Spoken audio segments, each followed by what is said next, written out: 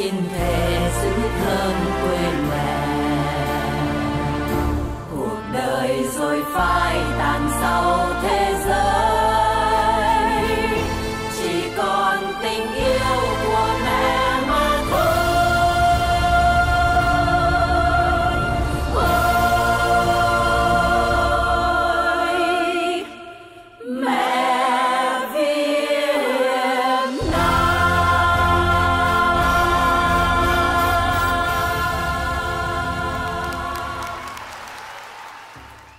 Người miền Nam trước năm 1975 đã lấy ngày tưởng niệm Hai Bà Trưng làm ngày Phụ nữ Việt Nam.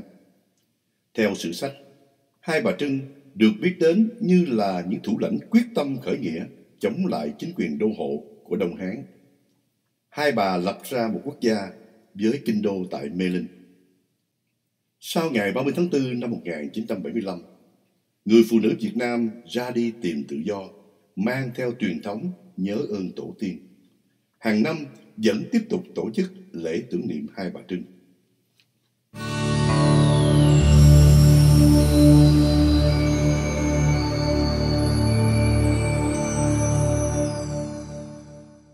Cộng đồng người Việt tại tiểu bang Georgia đã tưng bừng tổ chức ngày truyền thống này tại thành phố North Cross vào ngày 26 tháng 2 năm 2023 với một nội dung mang đậm tính triết lý nhân văn của Việt Nam Cộng Hòa. bao la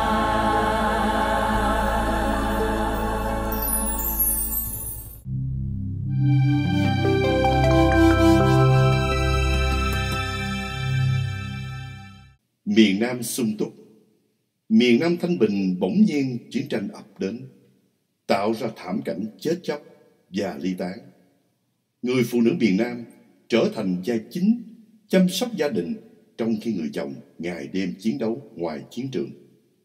Tôi lớn lên trong chiến tranh Do đó nghe kể lại chuyện xưa Cái cuộc đời của người phụ nữ Chỉ xoay quanh cái chuyện mà à, lo cho chồng lo cho con lo cho mảnh đất à, mình cài cấy rồi có những cái sinh hoạt rất dễ thương ở vùng quê tôi đi học sư phạm tôi có đi dạy học. Rồi sau đó à, tôi có đi học thêm luật.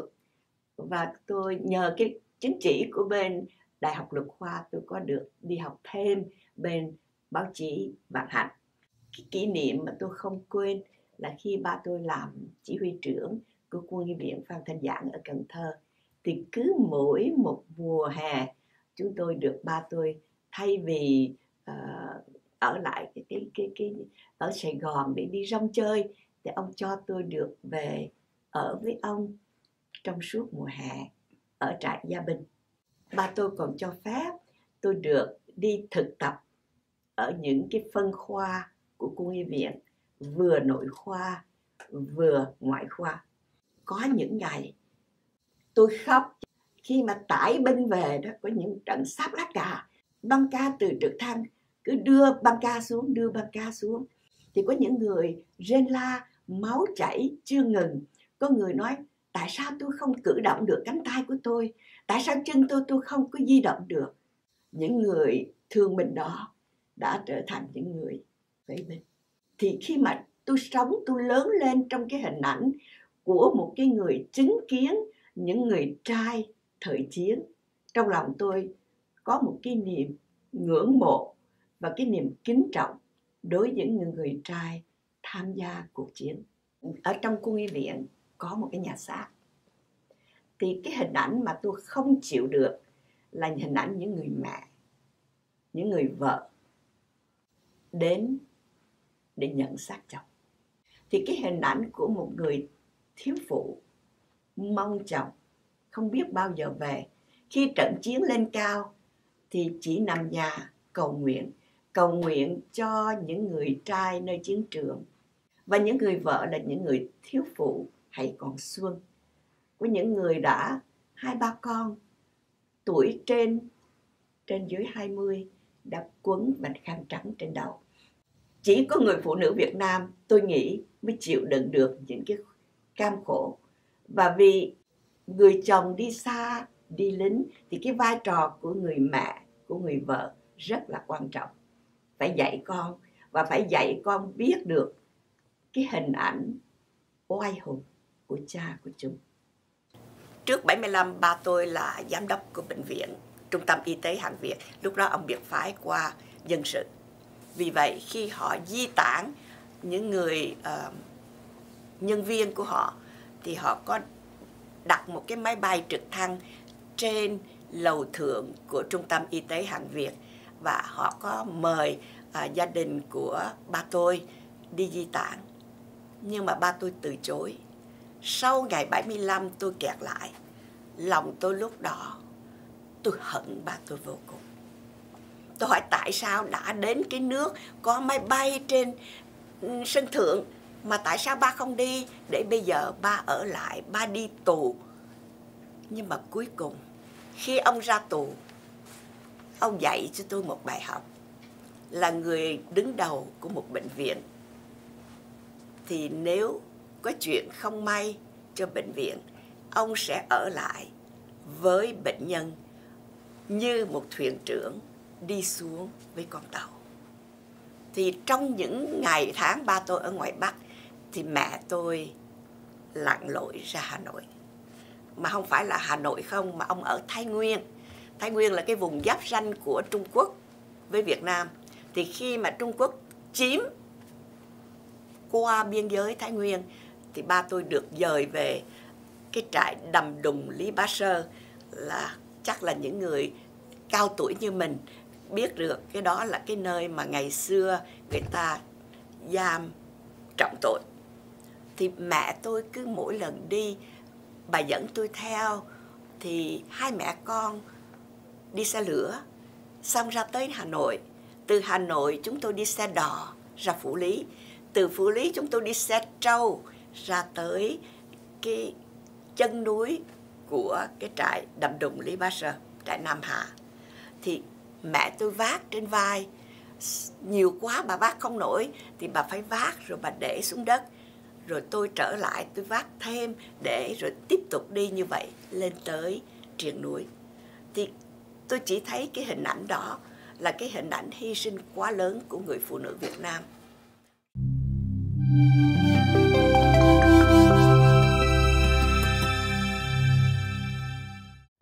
Khi cha mẹ tôi đưa tôi di cư vào miền Nam để tránh sống dưới chế độ Cộng sản, lúc đó là tôi vừa 3 tuổi. Điều đó có nghĩa là sự lớn lên và trưởng thành của tôi đã trải suốt theo dưới thời Việt Nam Cộng Hòa. Tôi đã tận hưởng một nền giáo dục nhân bản, dân tộc và khai phóng. Từ khi chập chững bước vào trường mẫu giáo lớp 5, tương đương với lớp 1 bây giờ, tôi đã được dạy nắn nót cho bằng được dòng chữ tiên học lễ, hậu học văn. Nghe giảng về các câu ca dao tục ngữ căn bản Công cha như núi Thái Sơn, nghĩa mẹ như nước trong nguồn chảy ra, được học EA những bài tập đọc hay học thuộc lòng về đạo nghĩa làm người. Tóm lại, tôi đã có một thời thơ ấu rất an bình tại thành phố nhỏ Quy Nhơn, nơi có núi đồi ngay sát thành phố và trẻ con sau giờ học có thể đèo núi hái sim và ổi dài. Thuở bé, tôi cũng đã từng gặp những người lính trẻ đi quân dịch thời 1956-1957. Họ đi trên những đoàn con, con voi và dừng chân bên lề đường nghỉ ngơi tình cờ ngay trước cửa nhà tôi. Những người lính rất trẻ xem những đứa bé chúng tôi như em thơ của họ. Họ triều mến chơi đùa với chúng tôi một lát rồi lại rong rủi lên đường để lại những ấn tượng hiền hòa, thân thiện trong đầu óc non nớt của lũ trẻ con chúng tôi. Sau đó, cha tôi được thuyên chuyển vào Sài Gòn. Tôi được theo học 2 năm cuối tiểu học, lớp nhì và lớp nhất, tương đương với lớp 4 và lớp 5 bây giờ. Tại trường dòng mến thánh giá, tại đây các sơ thánh thiền, hiền lành đã dạy cho tôi những điều thiết yếu và cơ bản để chuẩn bị thành người.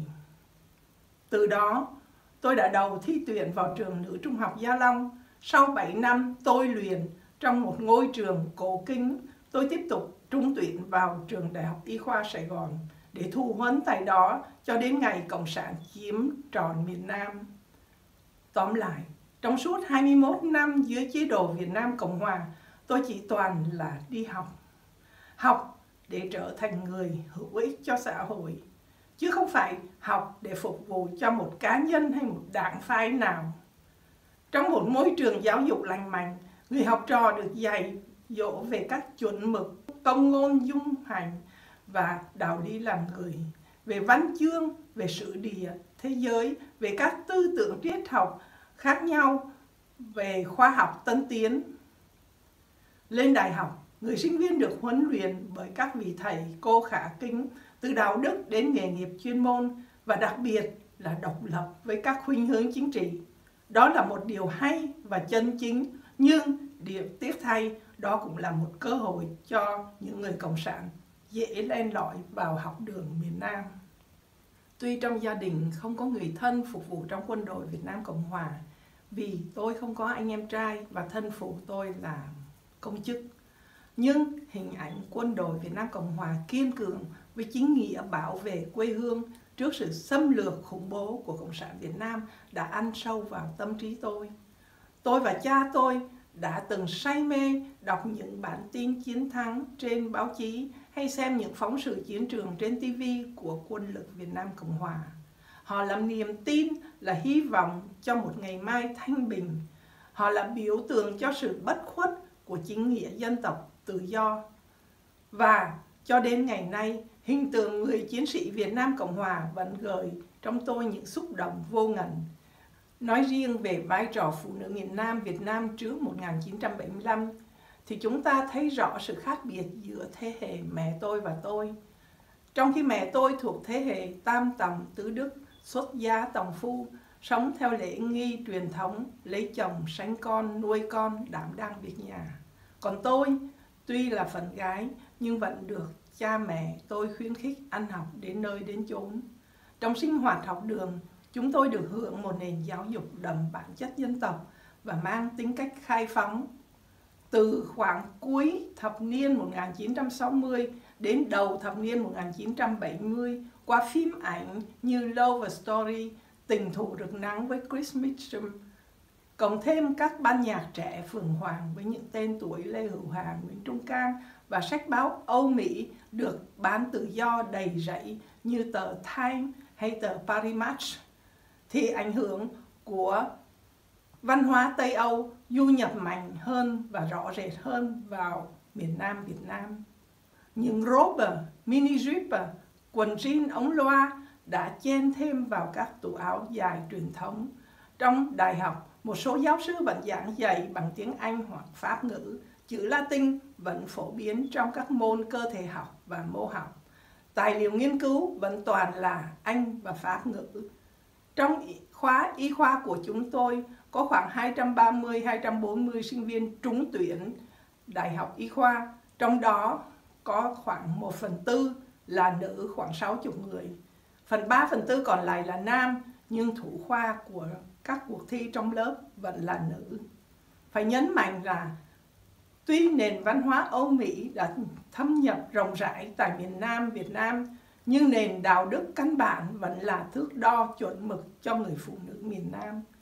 Vai trò phụ nữ miền Nam trước 1975 đã được khai phóng, trình độ học hành được nâng cao, được hấp thu nền văn hóa Âu Mỹ qua việc trau dồi ngoại ngữ, được đọc sách, báo và xem phim Âu Mỹ, được làm tóc và ăn mặc phóng khoáng và được tham gia vào các công việc hành chính xã hội. Nhưng họ vẫn giữ luân lý và đạo đức căn bản truyền thống dân tộc. Kỷ cương gia đình vẫn là gốc rễ của xã hội. Đạo đức học đường vẫn là khuôn vàng thước ngọc cho giới trẻ thời đó. Thank you.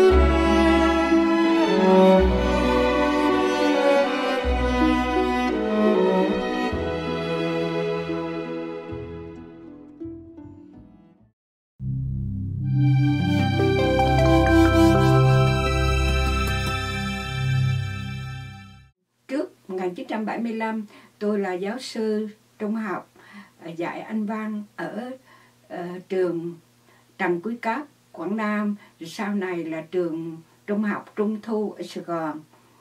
Tôi chỉ là một cái cô giáo tầm thường của một cái trường trung học thôi. Thì tôi không có biết nhiều về chính trị đó. Nhưng mà tôi thấy là dưới thời Việt Nam Cộng Hòa đó, cái mà người ta tôn trọng nhất á, tức là cái tính cách nhân bản tức là cái quyền làm người cái quyền tự do ngôn luận cái quyền. Thành ra ví dụ như ở trong trường đó mình dạy mình à, ví dụ tôi dạy tiếng anh thì tôi cứ dạy tiếng anh thôi. Không có ai biểu tôi là ô, à, cô phải dạy tiếng anh mà phải nói về cái uh, chủ nghĩa của việt nam cộng hòa không? Không. Sau 75 á thì qua đây á mới hai năm đầu á thì ngày nào tôi cũng khóc hết. Ở trong trại tị nạn tôi cũng khóc. Thì có một người bà con ông đó ông là anh rể ông là bác sĩ ông nói đi thôi mà đi lên giúp cho mấy người tị nạn Việt Nam làm biên tập viên à, làm thông dịch. À, tôi thành lập được một cái nhóm từ thiện tình thương để mà giúp bảo trợ cho các sinh viên nghèo ở Việt Nam đặc biệt là các sinh viên y khoa với một cái cái cái cái mong ước là các em ngoài việc ra làm bác sĩ cũng lan tỏa cái tình thương của cái người Việt Nam, của dưới thời Việt Nam Cộng Hòa. Tại vì cái người dân Việt Nam mà ở miền Nam họ rất là rộng rãi. Thì đó là cái nhóm từ thiện tình thương. Nó có cái mục đích là lan tỏa tình thương. Đối với cái cái cái cái cái nền văn hóa giáo dục của những cái người tị nạn á, của của những người mà Việt Nam Cộng Hòa đó tức là chỉ coi trọng cái tình thương cái tình người là quan trọng. Mà theo cô á, tại vì bây giờ cô đã lớn rồi thì cô nghĩ trước khi mà mình nhắm mắt mình tắt thở thì cái gì mình mang đi? Không phải là tài sản không phải là kiến thức, không phải là tất cả những cái gì vật chất. Nhưng mà chỉ có cái tình thương mình mang trong tâm thức của mình. Khi mình còn sống, mình đối đãi với ai, thì cái đó là ở trong cái văn hóa giáo dục của Việt Nam Cộng Hòa, nó tôn trọng cái nhân, tính cách nhân bản, cái tình người đó.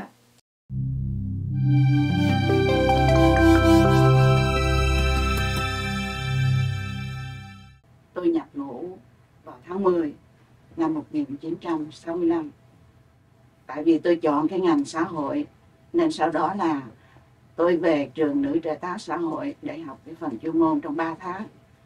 Đoàn nữ quân nhân quân lực Việt Nam Cộng Hòa là có tiền thân là Việt, Việt binh đoàn.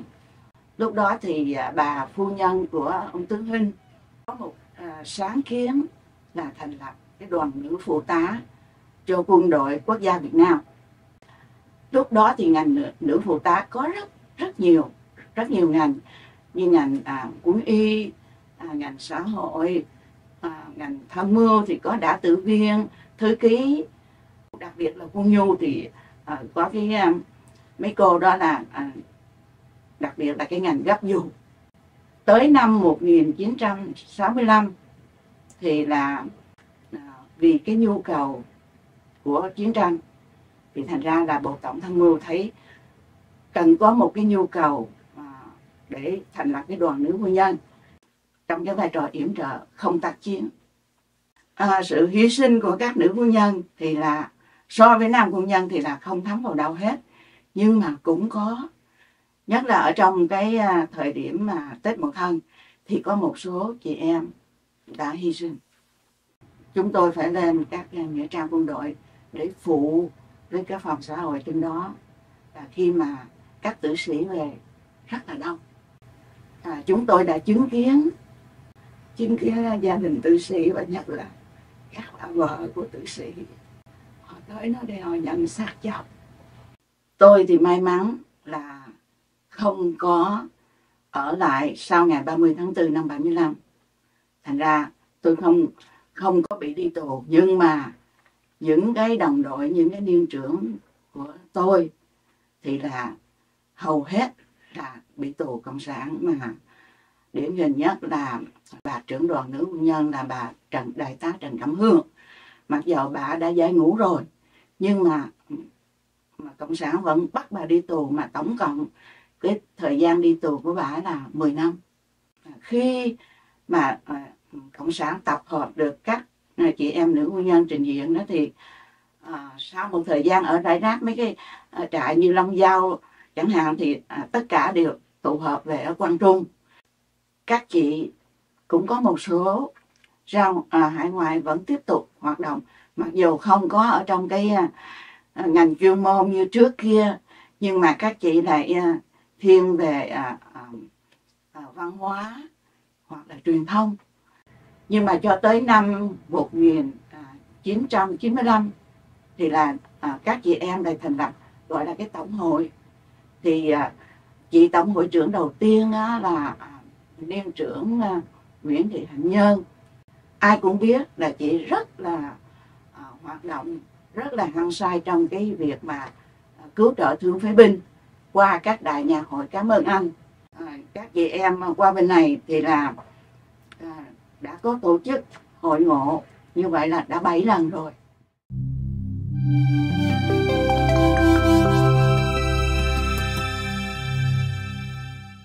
Ngọc Đan Thành là một phụ nữ nhiều tài năng về các lĩnh vực như diễn viên kịch nghệ, tài tử điện ảnh, ca sĩ tân cổ nhạc, chuyên viên lồng tiếng cho phim và sướng ngôn viên truyền hình. Tuy nhiên, dù trôi nổi theo mệnh nước trong và sau chiến tranh, người nghệ sĩ vẫn một lòng sắc son với đất nước, tiếp tục tham gia các hoạt động yểm trợ các thương phế binh tại quê nhà. Năm 68 Mậu Thân thì Ngọc Long Thanh xin ba má cho gia nhập vào quân đội. Thanh mới gia nhập vô tâm lý chiến là ban hoa rừng của trong biệt động quân. Và từ lúc đó là năm 17 tuổi. Kỷ niệm mà đi ờ, hát cái tiền đồn, hát với các anh tâm lý chiến thì nó nhiều lắm. Thanh nhớ để coi có lần lúc là lúc mà đánh ăn Lộc thì ờ, lúc đó đã êm êm rồi thành ra mới cho ờ, các tâm lý chiến tới để để văn nghệ đi giúp vui cho các anh đó thì lúc đó hát thanh nhớ là cũng không có dám trường chưa chưa hẳn đi ra phía ngoài để mà diễn đâu cũng còn diễn giống như trong lô cốt vậy đó đứng ở trong vậy vậy đang diễn. Mà mình đang đứng ca với nhà nhảnh, đang đứng cầm micro mới hát thì tự nhiên à không không không biết vậy mình đang ca, mình nghe tiếng đờn mà đâu có đờn lớn đâu. Mấy anh đờn thùng không à. Bị đi ca giống như giải chiến mà. Thì tự nhiên là mấy anh lính đang ngồi. Xây xung quanh mình, đó khoảng cái chừng à, hai chục anh à. Mười mấy, hai chục, tự nhiên con anh từ dưới nhào lên. Đè ngọc long thanh xuống. Ổng nằm sách lên người ngọc thanh. Thì vừa lúc đó ngọc thanh không hiểu chuyện gì xảy ra thì vừa nằm xuống nghe thì nghe cái sau đó mới nghe cái bùm một cái. Tức là sau đó ông thanh ý gì vậy? Mấy ông nói là tại vì mấy ảnh đã nghe quen rồi. Cái b 40 đó khi họ dội là từ ngày sau nó có cái chân chéo này nọ thì mấy ảnh đã đánh đánh được một cái là ảnh phải bảo vệ cho ngọc thanh ở Việt Nam mình trước ngày 75 á, là những cái năm tháng mà lễ Tết những ngày này cái nọ mình được sống yên ổn mình được sống yên ổn là giờ đâu? Là có những người ở nơi xa họ cầm súng, họ trấn giữ những cái nơi đó để cho mình được yên ổn tại Sài Gòn. Thanh chỉ cảm nhận rằng đó là những người đã hy sinh. Có những người đã chết. Có những người còn sống. Nhưng mà với một cái thân thể bị mất đi, không có nguyên vẹn, thì à, những lần về Việt Nam Thanh có gặp à, những năm trước mỗi lần về Thanh hay đến cái quán cơm đó để Thanh gặp cái anh đó. Nhưng mà hai năm nay về thì không không gặp anh nữa anh mất rồi. Mà khi về tới cái quán cơm tắm đó là vừa vô là cái cô đó báo đầu tiên đó trời chú mới mất cách đây hai tháng chú còn nhắc tới chị. Là vì thanh nhớ cái lần đầu tiên mà thanh gặp á, là ảnh à, ảnh cục hai cái giò ảnh có một cái ảnh làm bằng một cái à, cái cái cái miếng gỗ á ở dưới anh để mấy bánh xe để anh đẩy đi đẩy đi vậy nè. Anh bán vé số. Lần đầu tiên thanh gặp thì à, thanh thấy. Thanh mới đưa tiền cho ảnh. Thanh nói à, tôi không có mua vé số nhưng mà thôi tôi gửi tiền. Thì ảnh nhìn thanh ảnh nói chứ tôi bán vé số chứ tôi đâu có đi xin. Khi anh nói cái câu đó thì à, thanh thanh ngạc nhiên. Tiền á ai thấy thì cũng thích cũng ham hết nhưng mà tại sao cái người này lại như phải như vậy? Thanh mới nói vậy thôi tôi xin lỗi anh anh sao? Rồi mình mới lân la mình hỏi chuyện. Thì ông mới nói, thì ra ông là trong quân đội. Chơi với anh. Đó là những người mình được gặp. Thế còn những anh khác mình không được gặp thì sao? Thì cái chương trình thương phế binh của bà hạnh nhân rất là tốt. Đã có những cái sự giúp đỡ của tất cả mọi nơi trên thế giới đều gửi về để giúp đỡ. Tại vì khi thanh biết được cái đồng tiền mà các anh nhận được ở bên đó đó, hay là những gói quà đó nó không không bằng cái mà ảnh, mấy ảnh cảm nhận được rằng tất cả những cái người dân ở nước ngoài vẫn không quên công ơn các anh. Đó thanh cũng, nhân dịp này cũng rất là gửi lời cảm ơn đến tất cả ờ, những khán giả tại nước ngoài. Ờ, những đồng hương của mình vẫn còn thương nhớ tới các anh ở quê nhà cũng như các quả phụ cô nhi đang còn chờ được cái sự giúp đỡ của mình đó.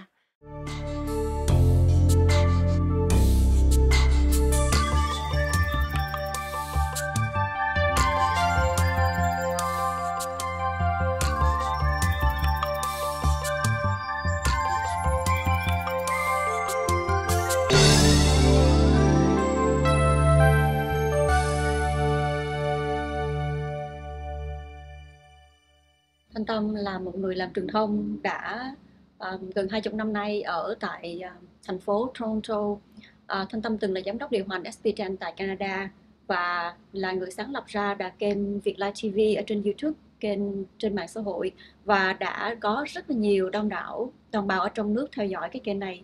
Hiện nay thì đã có trên một triệu sắp uh, người theo dõi um, và hiện nay thì Thanh Tâm đang làm phim về những người thiều nhân và đang cố gắng đi tìm những đi làm những cái phim tài liệu mà chúng ta có thể kể lại cái nguồn gốc của người tị nạn. Tại sao chúng ta có mặt ở tại Mỹ, Canada, Úc Châu hoặc là châu Âu? Mà tại sao chúng ta và tại sao chúng ta phải sống một cuộc sống lưu vong? Dạ thưa, khi mà Thanh Tâm dấn thân vào con đường làm truyền thông trong cộng đồng đó là một con đường đầy trong gai và rất là nhiều khó khăn bởi vì Thanh Tâm là người trẻ sinh sau năm 1975 và lớn lên ở tại ờ, Việt Nam sống à, được dạy ở trong một cái trường học mái trường xã hội chủ nghĩa thì bị nhồi sọ rất là nhiều.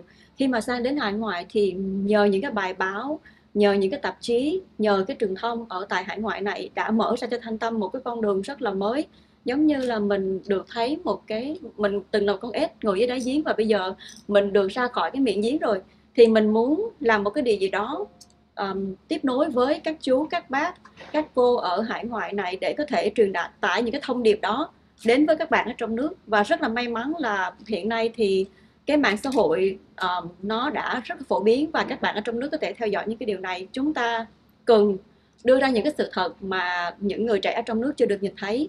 Và thanh tâm còn nhớ là khi mà thanh tâm được cái sự huấn luyện của um, anh Việt Dũng từng làm dưới SPTN thì anh có nói là mỗi một người làm truyền thông phóng viên ở SPTN á, là một chiến sĩ. Chúng ta không cầm súng nhưng mà chúng ta cầm cái microphone đi tác nghiệp. Chúng ta cần phải đưa những cái sự thật ra.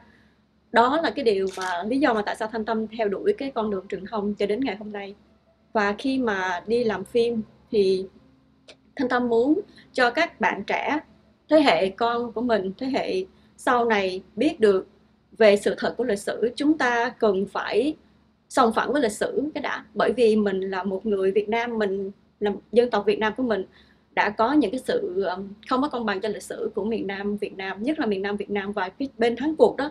Họ cố tình họ bóp méo sự thật, cho nên là chúng ta, những người ở hải ngoại này, có được cái sự tự do để mình nói thì chúng ta cần, rất là cần thiết để mà chúng ta trả lại cái sự thật và cái sự công bằng cho lịch sử.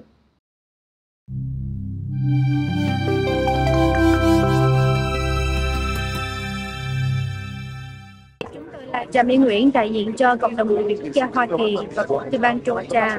Đây là năm thứ ba chúng tôi đến tham dự ngày tưởng niệm nạn nhân cộng sản tổ chức tại Washington DC và chúng tôi cũng có hai cái vòng hoa để theo chân tất cả các quốc gia và tổ chức khác. À, thưa quý vị, là hậu duệ của Việt Nam Cộng Hòa chúng tôi nghĩ rất là quan trọng để cho à, mình tiếp tục tham gia những công tác này. Cái thứ nhất là mình tưởng nhớ tất tất cả hơn 100 triệu người đã bị thảm sát bởi chế độ cộng sản và hơn 1.5 tỷ người vẫn còn sống trong chế độ cộng sản ngay giờ phút này và trong đó Việt Nam là một trong những nước có cộng sản Tết Mậu Thân đã ghi một cái dấu ấn rất là sâu đậm trong cái lòng của người dân. Hơn 5.000 người dân của chúng ta đã bị chết vô tội bởi bởi tay của cộng sản. Cầu mong rằng sẽ một ngày không còn chế độ cộng sản nữa. Thế hệ của chúng tôi những hậu duệ phải có trách nhiệm giữ vững lá cờ Việt Nam Cộng Hòa không cho cộng sản xâm nhập vào hải ngoại. Và cái thứ ba là chia sẻ những cái kiến thức này đến những cái thế hệ trẻ sau. Vì các thế hệ cha ông đã dần dần lớn tuổi và họ không còn với chúng ta để nói lên những cái câu chuyện lịch sử này. Nên chúng tôi thiết tha kêu gọi tất cả các hội đoàn, những anh chị em trẻ tham gia vào cộng đồng. Xin hãy tiếp tục cái truyền thống và bảo tồn văn hóa, cũng như là chia sẻ những cái kiến thức về lịch sử đối với thế hệ trẻ sau này.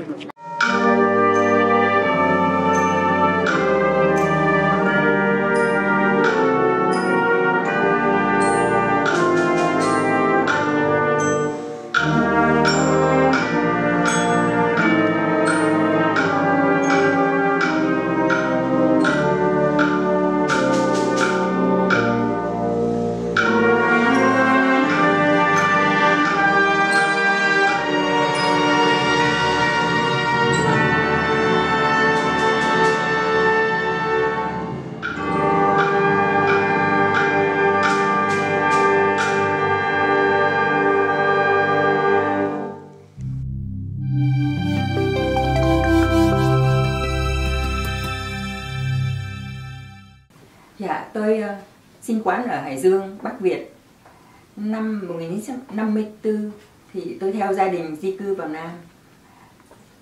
Tôi tôi định cư ở Sài Gòn và tôi đã tốt nghiệp Đại học Dược khoa Sài Gòn năm 1974. Tôi hành nghề dược sĩ, nhưng mà chỉ được có vài tháng thì xảy ra biến cố 30 tháng 4 năm 1975. Sang Mỹ thì mấy năm đầu, nhờ tôi có một chút vốn liếng tiếng Anh học từ hồi trung học cho nên tôi đi làm thông dịch viên cho hội Bắc Ái USCC ở Lafayette, Louisiana. Nhưng mà đồng thời tôi cũng tìm đường tìm cách để đi học lại. Tôi đã nộp đơn xin học ở rất nhiều đại học. Và sau khi trắc nghiệm thì tôi đã được um, University of Texas nhận cho vào năm thứ ba của Đại học Dược khoa. Và chỉ trong hơn 2 năm thì tôi đã tốt nghiệp bằng cử nhân dược khoa của UT Austin. Theo như nhận xét của cá nhân tôi thì người phụ nữ Việt Nam đã được tiến rất xa trong mọi lĩnh vực. Trong thời chiến họ đã phải hy sinh rất mất mát rất nhiều. Chồng đi lính, người vợ ở nhà một mình phải cáng đáng mọi việc trong ngoài họ gần như gánh đất nước trên vai sau năm 75 các gia đình bị kẹt lại, thì các ông chồng hay là những người con phải đi cải tạo các bà mẹ, các người vợ ở nhà phải đương đầu với một hoàn cảnh vô cùng khắc nghiệt họ vừa phải bươn trải để kiếm cơm, nuôi sống các con, cũng như phải lo nuôi các ông chồng bị tù tội. Tôi có thể ví đây là những bà Trưng, bà Triệu của thế kỷ hiện đại. Họ không cưỡi voi, nhưng họ rất can đảm, rất kiên trì và có rất nhiều bản lĩnh. Hình ảnh của lá cờ vàng ba sọc đỏ đã in sâu vào trong tâm trí tôi từ thời học sinh tiểu học. Từ trong những buổi sáng đứng sắp hàng chào cờ lớn lên tôi mới hiểu ý nghĩa của lá cờ vàng nó rất là hài hòa. Nó tượng trưng cho ba miền trung nam bắc ba dòng máu đỏ cùng chung một màu da vàng.